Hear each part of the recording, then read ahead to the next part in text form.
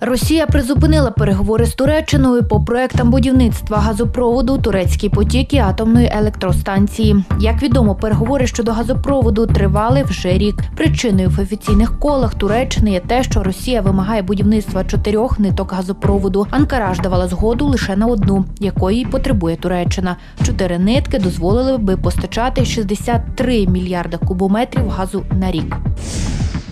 США закликали Туреччину до ударів по ісламській державі, а не по курдах. У Пентагоні переконані, що Туреччина має робити більше для боротьби з ісламською державою. Про це заявив глава Пентагону Ештон Картер в Конгресі. Нам потрібно, щоб вона робила більше в рамках своєї території, зокрема, забезпечувала контроль кордону, якого немає з часів, коли ісламська держава наростила свій вплив. Сказав він. Як відомо, Туреччина почала бомбити позиції курдів влітку цього року. Ескалація насильства сталася після парламентських виборів 1 листопада.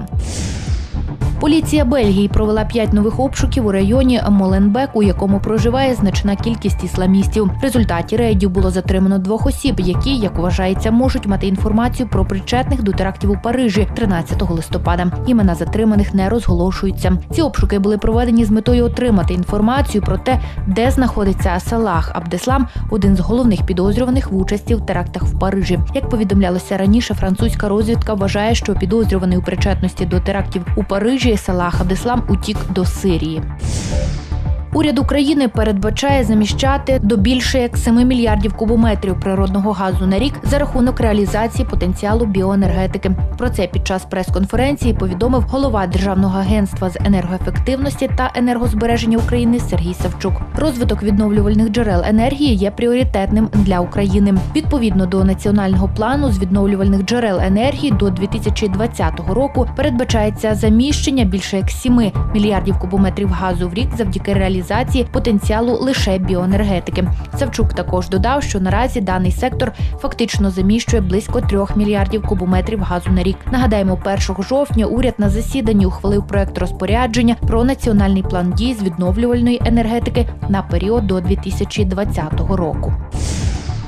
Представники Тернопільської облдержадміністрації на чолі з першим заступником голови Іваном Крисаком взяли участь у нараді щодо підготовки проекту будівництва каскаду ГЕС на верхньому Дністрі. Нарада відбулася у Новодністровську Чернівецької області. Тернопільська делегація ознайомилася зі станом будівництва та експлуатації однієї з найбільших гідроакумулюючих електростанцій Європи. Учасники наради обговорили, зокрема, ідею Укргідроенерго найбільшої гідроенергогенеруючої компанії України щодо побудови побудови каскаду ГЕС на Дністрі.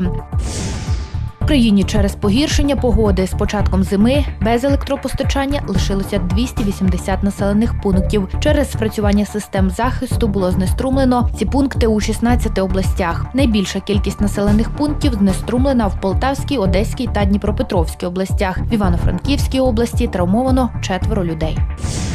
У Рівному влада обіцяє тимчасовий прихисток для безхатченків. У місті на вулиці Дубинській, 71А розташоване відділення обліку бездомних осіб і надання послуг з харчування та облаштування на нічліг людям, які не мають житла. Відділення, як запевняють чиновники, забезпечує безпритульним громадянам тимчасове проживання та в період сильних морозів додаткове денне перебування обігрів. Рівнян у разі виявлення осіб, які потребують допомоги в період сильних морозів, закликають телефонувати за номером 26 68 02. Константин Думановський більше не очолює відділення планової хірургії Рівненської обласної дитячої лікарні. Причиною звільнення стали систематичні порушення. За словами Ліани Диновської, яка веде справу родини Антонюків, п'ятирічний син, яких помер у відділенні планової хірургії, не дочекавшись вчасної медичної допомоги. Уже є висновок Українського центру з контролю та моніторингу захворювань, який встановив, що Микола Антонюк не помер від ГРВІ, як написали лікарі дитячої лікарні.